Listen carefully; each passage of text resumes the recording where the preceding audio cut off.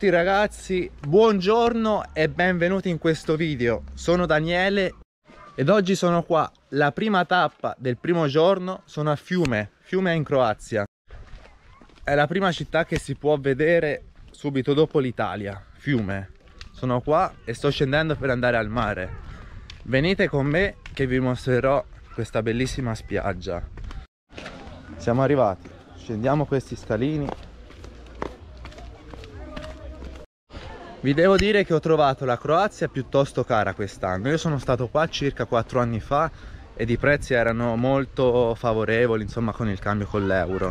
Ma ad oggi che è entrata nella zona euro eh, tutto è caro. Ho preso un caffè stamattina in una zona, diciamo, fuori eh, residenziale e ho speso più di 1,30 euro.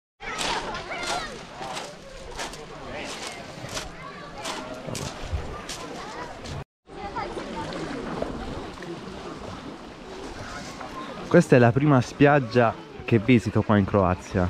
Sono arrivato ieri sera ed oggi sono qua, questa mattina. Ho deciso di fare un bagno per rinfrescarmi, prima di riprendere il viaggio per partire e andare verso sud, a scoprire nuove spiagge. Ho deciso così di fare questo bagno perché stamattina è uscito il sole. Siccome ieri notte stava piovendo ed oggi è uscito il sole e poi volevo anche rinfrescarmi, scoprire un attimo questa spiaggia immergermi in questo blu. Ragazzi stiamo prendendo il, il ponte per andare eh, sull'isola di KRK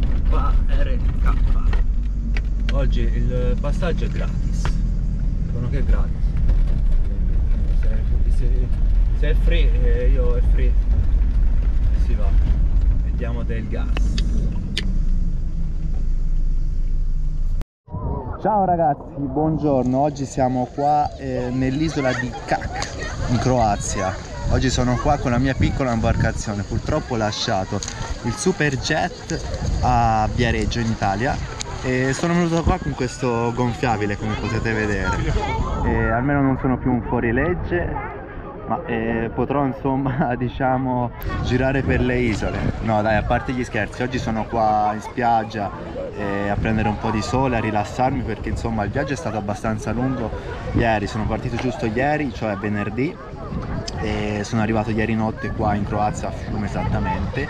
Ed oggi insomma un po' di relax qua in spiaggia giusto per recuperare dal lungo viaggio. E niente, restate connessi che presto usciranno tanti altri video. Io farò diverse tappe al quale oggi sono in Croazia, poi domani sarò all'isola di Pag e poi sarò, eh, scenderò piano piano giù fino a Bosnia, Albania e Turchia, anche la Grecia. Quindi se vi piace viaggiare anche a voi, restate connessi che ci saranno tante novità. Ciao ragazzi!